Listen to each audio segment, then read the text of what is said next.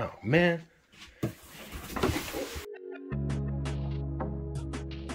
So yeah, my office was kind of a mess. And that's actually because we are currently in the process of remodeling our house, looking to sell it and move to another state, somewhere a little bit warmer. And that's kind of uh, uh, the reason for this video. And I actually realized I haven't made a video in a couple of months, and that's for the same reason, just haven't had a lot of time or budget for any new gadgets or toys. But now I actually got a perfect excuse for one because I am moving my workspace into a much smaller area for the next few months while we are in a transition period between the old house and new house. So I'm gonna have way less room for everything and I'm just going with my laptop for the time being instead of my desktop and um, decided I needed a, a smaller keyboard. Don't really need it, but wanted it. Plus Father's Day is coming up. So I picked up this Razer Huntsman Mini over here, 60%. Optical gaming keyboard. I was actually looking at uh, Corsair K65 at first. It just came out recently, a couple months ago. It looks nice, and I am a fan of Corsair products lately. And to be honest, Razer, I always like the brand. I think they're they're really good, but they've been kind of a hit or miss for me. And um, I'm very happy with my Razer laptop. But the last two or three Razer products that I bought, including another laptop, including a keyboard and a mouse, and you you can see them all uh, on my channel. All of those ended up going back to the point of sale. So they were in one way or the other disappointing. So I'm a little bit worried about uh, this keyboard here. I hope it's gonna be good.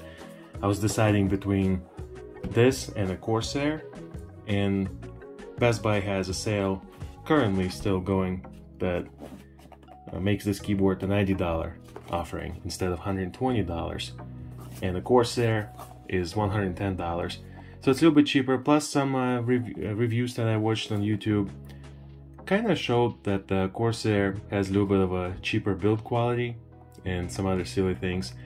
And it still looks really nice but I ended up uh, deciding to try Razer. And it's a nice packaging. I like that. That's kind of changing colors there whatever it's called. Uh, plus it should go well with my Razer laptop so let's go ahead and uh, take a look inside. Anything of uh, interest here? Razer optical switches double shot PBT keycaps detachable uh, USB Type-C cable. So I'm actually not a huge mechanical keyboard reviewer or, or not or anything like that. I know there's all the different switches, they're lubing, they're modding, there's all kinds of stuff. There's a whole community dedicated to mechanical keyboards and um, like 60% keyboards too. But I'm actually gonna just look at this keyboard from the point of view of someone who's used to full-size keyboards. And this is my first mini keyboard, really. I mean, I had compact Bluetooth keyboards, things like that, but the actual mechanical gaming keyboard in the smaller form factor, this is going to be the first one for me. So that's how I'm to unbox it. So right there is the keyboard. Pretty basic packaging here. Let's see, there's some kind of paperwork here. Nice, the usual Razer note. Thank you for choosing Razer. You see this with almost every Razer product. And manual. Not just manual. Ah, stickers. You also see this with almost every Razer product. Okay. So that's the uh, USB Type-C cable. Okay, pretty nice. Braided cable. I'm assuming it's gonna be type A on the other end, yes. And it's also typical green type A USB cable from Razer, cool. Leave it there for a minute. And here's the keyboard itself. Cool, alright, so my very first impression, just picking up from the box, is actually smaller than I even expected. I thought, I don't know why, but for some reason I expected it to be just a little bit taller. And this is much slimmer than I thought it would be. And that's, that's fine. I want this portability. I can tell already there's some interesting design features here that just makes it uh, kind of stand out a little bit. So this is nice for gamers, by gamers, just printed all over here. Um, standoffs, this is something that the Corsair K65 doesn't have, and I think that's going to be a nice feature to have. Okay, and then pretty simple, there's a Razer branding right there, and not much going on around here. Now, the material, I forget, do they say that if the top of it is metal or aluminum of some sort? It feels like it's cool to the touch, so it feels like aluminum. The sides and the bottom is definitely all plastic.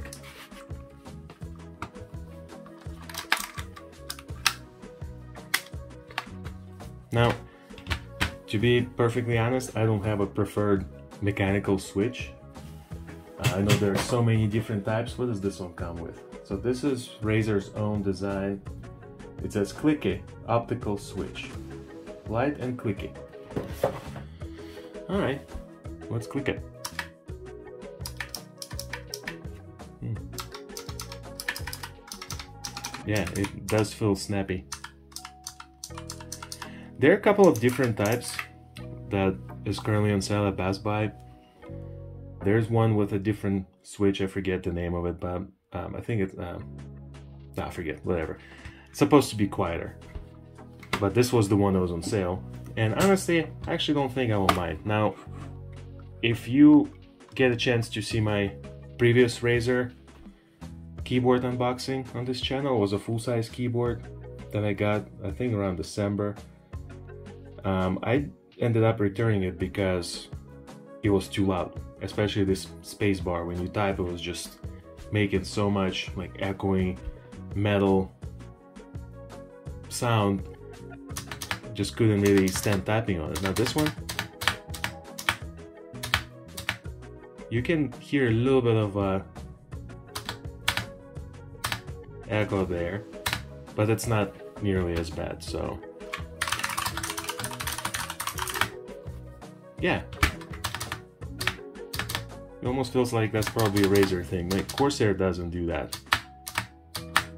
But again, if you get a chance to watch that previous video, you'll see just a huge difference in how loud that spacebar is. And that was literally the only reason why I ended up returning the keyboard. I'm just, I type a lot for work all day long, and um, I decided I just can't stand that. But this should be okay. Alright, so what's next? I realized that some of the regular keyboard functions are kind of moved to as the secondary as a secondary uh, function to other keys like the arrow keys for example there or all this you know print screen page up home page down all those keys over here. It's gonna be interesting to see. I don't actually use those a whole lot so probably not a problem also the function keys on this side so I guess the idea is you type and you, you hold hit the function key with your pinky and one of those keys. Doesn't feel too intuitive but probably just something to get used to. Uh, I think I would prefer the function key to be on this side so you could sort of hit it and then engage the, the key that you need. But I'm sure it can actually be remapped if that's a problem in the software, so probably not a big deal. Either gonna have to get used to it, or if getting used to it is too much, then just remap it. Now the USB-C connection is a little bit offside, or off-center rather, shifted to the side here, but it's also recessed inside the keyboard, I like that. Yeah, and look here, there's like a little guide here, and like a tiny little rail over there so the cable goes in there slides right in very smoothly and just kind of flush with the keyboard. That's very nice. The Corsair doesn't have that and it's just a slide over here and you just stick the cable and it's sticking out right there in the middle of the keyboard. So just those small things are some of the reasons why I've chosen the Razer versus a Corsair. And I apologize to anyone who's a fan of any other brand out there. Just I just don't know them all that well, and these are the ones that were available today at Best Buy. Let's, let's plug it in and take a look. So it comes to life right away. And it shifts through the um, the cycles all different colors. Okay, the Razer software comes right up. I don't know if it wants an update. Looks like it wants an update. Probably getting whatever drivers it needs for the keyboard. Hmm. Or maybe it's not the keyboard. Did Microsoft change the um, behavior of Windows key? Or is it just me? No. It was definitely my computer. Okay, well, the keyboard works. And it was still installing drivers, that's probably why. While we're waiting on that, as a side note, I'm actually recording this video on uh, Samsung Galaxy Note 20, the base model. It's a green one I unboxed uh, back in August, I think, of last year. And uh, that was the one that I gave to my mom, but my last video on this channel was about uh, a Galaxy S21 Plus that I won in a contest and I ended up just giving that to my mom and I took her note back so I can use it to record some videos with. And I don't have to use my main phone, just use it for other things.